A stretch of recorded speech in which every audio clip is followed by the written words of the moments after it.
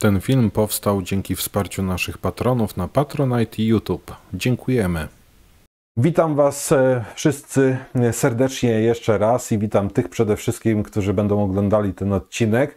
Koszulka burzowa dzisiaj nie bez powodu, bo burze mamy szczególnie w Polsce wschodniej, południowo-wschodniej. E, też e, te burze zapowiadane były w porannym odcinku Ok, tutaj mam kabel od mikroportu, więc musi tak być. E, w porannym odcinku te burze były zapowiadane w Polsce południowo-wschodniej. Tam zaczęły występować w godzinach wieczornych. Zacznijmy przede wszystkim od zdjęć. Mister, oczywiście administrator też e, naszego Discorda, naszej grupy, zrobił zdjęcie, na którym teoretycznie mało co widać, ale widać mimo wszystko rozbudowującą się chmurę burzową. E, cumulus congestus, być może cumulonimbus, dosyć dosyć niski, ale jest oczywiście widoczny. Bardzo ciekawa, e, bardzo ciekawe zdjęcia, więc e, bardzo ciekawe zdjęcie z tyłu to jestem ja e, i to jest materiał, który to jest zdjęcie, które było robione właśnie, to jest inaczej, to jest zdjęcie z porannego materiału, czy z godzin popołudniowych. Wspominałem, że tutaj na pograniczu województw świętokrzyskiego podkarpackiego oraz lubelskiego wystąpią burze. Tak się właśnie działo i tak się właśnie dzieje. Te burze występują lokalnie, są dosyć aktywne elektrycznie jak na tą porę.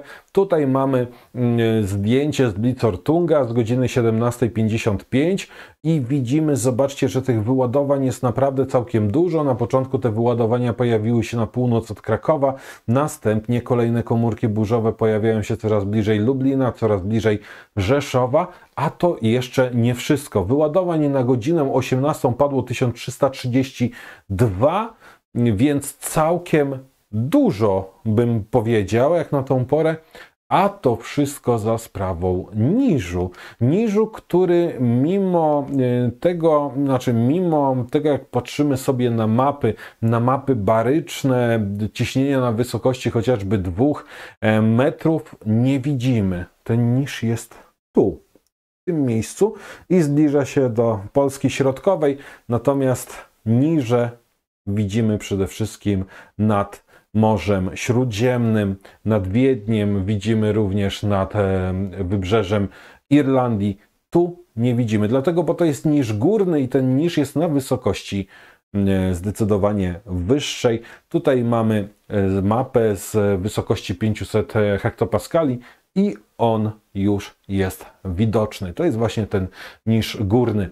W nocy energia potencjalna dostępna drogą konwekcji w Polsce Południowej będzie występować. Do północy dosyć duża ilość w województwach śląskim, małopolskim, podkarpackim, południu województwa lubelskiego i na południu województwa świętokrzyskiego. I w godzinach porannych już tej energii będzie zdecydowanie mniej i ona będzie coraz bardziej wypychana poza, poza nasze granice, a energia jest takim niejako paliwem dla burz, więc jeżeli tutaj gdzieś e, te burze będą występowały, to jest duża szansa, że one dłużej mogą e, potrwać. Do tego jeszcze ścinanie wiatru, ono będzie już coraz słabsze i będzie przemiata strefa mocniejszego ścinania wiatru będzie przemieszczała się bardziej na północ, więc ta zbieżność z energią potencjalną dostępną drogą konwekcji, czyli z tym cape'em, będzie nam już się rozjeżdżała. Co to, o czym to świadczy? O tym, że burze jeszcze prawdopodobnie będą trwały, natomiast powinny koło północy już zanikać e, przede wszystkim na południu województwa lubelskiego, północy województwa podkarpackiego i tutaj być może w okolicach Krakowa, Częstochowy jeszcze będzie grzmiało, ale z godziny na godzinę tych burz powinno być mniej, a najsilniejsze zjawiska powinny być tutaj na południu województwa lubelskiego. O tym też mówi ostrzeżenie od sieci obserwatorów burz, prognoza burzowa. E, ten tutaj obszar to jest obszar niewielkiego zagrożenia burzowego, tutaj gdzie te burze były najsilniejsze i faktycznie one w tym miejscu tutaj były najbardziej żywotne, szczególnie w południowej części tego obszaru. Tutaj faktycznie ta prognoza się sprawdziła. Ten obszar zielony również świadczy o tym, że może gdzie niegdzie zagrzmieć, ale tam energii potencjalnej dostępnej drogą konwekcji, szczególnie w Polsce Północnej, będzie mało, więc tutaj te burze, jeżeli jakkolwiek będą, to będą dosyć krótkie. Energia jest ważna, energia, Prognoza jest ważna do godzin porannych, do godziny 8 rano. Ja osobiście patrząc na tą mapę, patrząc na te wszystkie parametry, stwierdziłem, że największa szansa na burza będzie od Krakowa, na północ od Rzeszowa, na południe od Kielc, na południe od Lublina i aż tutaj ten obszar poza nasze granice. Tutaj te burze powinny być mimo wszystko najsilniejsze, znaczy najsilniejsze, naj, najdłużej żywotne, ale też w sumie trochę i najsilniejsze bym powiedział. Dalej. Jeśli chodzi o noc i o kolejny dzień, już normalnie o prognozę, nie tylko o burzę, no to sprawdźmy sobie na początku mapę zdjęcia satelitarne. No i widzimy tutaj ten niż Dorty, systemem frontów atmosferycznych, który tutaj nad Polską również się znajduje. Widzimy drugi bardzo ciekawy niż znajdujący się nad Morzem Śródziemnym, który daje bardzo dużo wyładowań tutaj w okolicach właśnie chociażby Grecji, Morza Adriatyckiego, ponieważ w poprzednich godzinach bardziej w okolicach Morza Adriatyckiego występowały burze. Zbliżmy się jeszcze raz do Polski tym razem, ale Polskę mamy tutaj, tutaj mamy naszych wschodnich sąsiadów. Chodzi mi o to, żeby jeszcze raz pokazać Wam ten niż górny, jak pięknie wygląda, jak on się pięknie tworzy i tu mamy front na którym tworzyły się wyładowania atmosferyczne, które tutaj nadal się tworzą. Tu mamy jeszcze orografię terenu, która pomaga w tworzeniu komórek konwekcyjnych. Opady e, w kolejnych godzinach dnia dzisiejszego, czyli w kolejnych godzinach poniedziałku, występowało tych opadów coraz więcej nadal na południowym wschodzie Polski. No i te burze, te burze, które pojawiły się na wschód od Krakowa i aż do Lublina, tam oprócz tych burz dosyć intensywne opady deszczu, już opady deszczu takiego właśnie pochodzenia e, konwekcyjnego. Dalej, jeśli chodzi jeszcze o południe Europy, to tutaj warto zwrócić uwagę na niż, który tam się znajduje, który też jest bardzo dobrze rozbudowany i to już nie jest niż górny, tylko normalny niż. Fantastyczny widok, naprawdę takie widoki lubię. Tym bardziej, że się dużo dzieje pogodzie. Ten niż nad Włochami nazywał się Carlotta, on będzie przemieszczał się w kierunku Turcji. Niż Dorty będzie powoli opuszczał nasz kraj i w dniu jutrzejszym, czyli we wtorek w godzinach popołudniowych zbliży się do Morza Czarnego.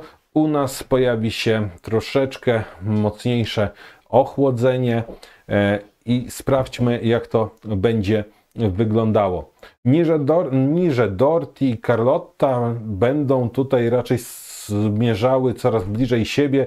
Na południe od Polski, na północy będziemy mieli wyż, który będzie powolutku zbliżał się do Polski od północy, gdzieś tutaj nad północne bądź centralne Morze Bałtyckie. Te dwa układy są najbardziej istotne, dlatego, bo te niże nadal będą wpychały do Polski też e, cieplejsze powietrze, ale z drugiej strony zbliżający się wyż również coraz mocniej będzie wypychał w naszym kierunku powietrze chłodniejsze. To spowoduje, że znów się zrobi cieplej, ale przede wszystkim na, u naszych wschodnich granic i za naszymi wschodnimi granicami, a w Polsce od północnego zachodu znów będzie spływać chłodniejsze powietrze, więc taka, ma, taka walka dwóch mas powietrza nadal będzie występować w nocy.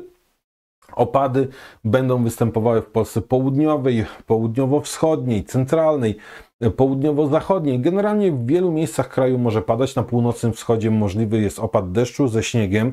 Nie będzie tam żadnej tragedii, tylko deszcz ze śniegiem, który się roztopi.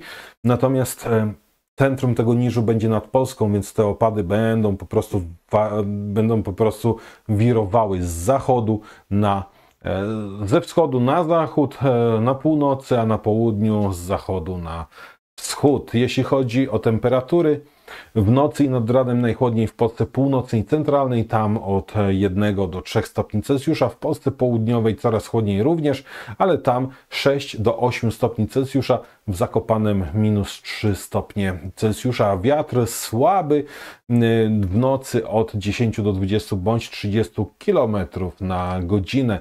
Jeśli chodzi o dzień, opady deszczu ze śniegiem na północnym wschodzie zostaną szybko wypchnięte poza nasze granice. W wielu miejscach Polski będą występowały zanikające opady deszczu, będą to opady deszczu przelotne.